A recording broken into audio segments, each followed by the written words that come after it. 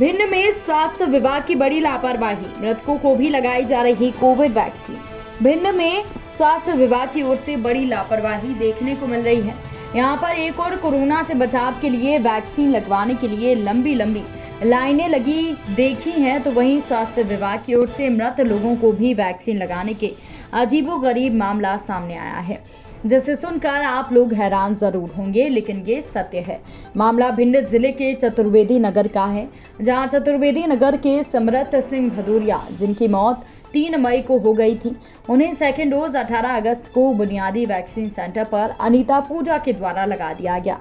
इसका मैसेज परिजनों के पास पहुँचा तो परिजन हैरान हो गए कि मरने के बाद समरत सिंह भदौरिया के सेकेंड डोज के फाइनल सर्टिफिकेट को उनकी नाती अंकित भदौरिया के द्वारा सोशल मीडिया पर पोस्ट किया, जो वायरल हो गया। दूसरी ओर, अटेर क्षेत्र के फूप कस्बे में अजीबो गरीब मामला सामने आया है, जहाँ पर 75 वर्षीय वृद्ध महिला फूला देवी के मरने के तीन दिन बाद वैक्सीन के सेकेंड डोज लगने का मैसेज उनके परिजनों के मोबाइल पर आया तो उनके बेटे महेंद्र पुरोहित हैरान हो गए। सूत्रों के मुताबिक, बिना वैक्सीन लगाए ही लोगों को सर्टिफिकेट मिलने की खबरें सामने आ रही हैं। इससे बड़ी लापरवाही समझे या भ्रष्टाचार।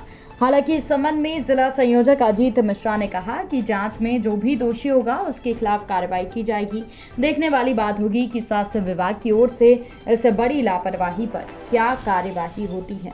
जी मेरे पास मैसेज आया था 18 अगस्त को कि वैक्सीन वो वैक्सीनेट हो चुकी है।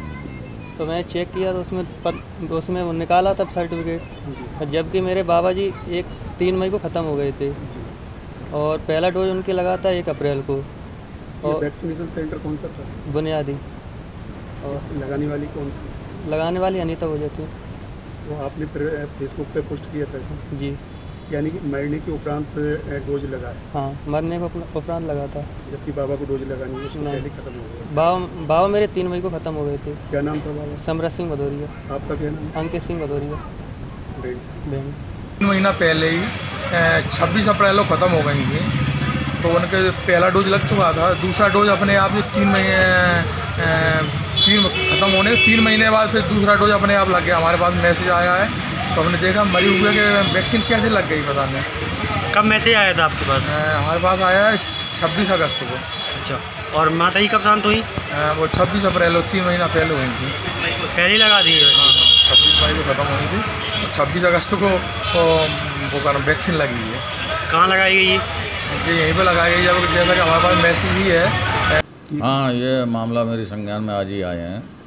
और इनमें हमने डॉक्टर एस के व्यास जो हमारा डीआईओ है उनको हमने इसकी इंक्वायरी सौंपी है कि ऐसा क्यों हुआ है कि जो मृत लोग हैं और उनको जो है वैक्सीनेशन लगाना शो किया गया है पोर्टल पर।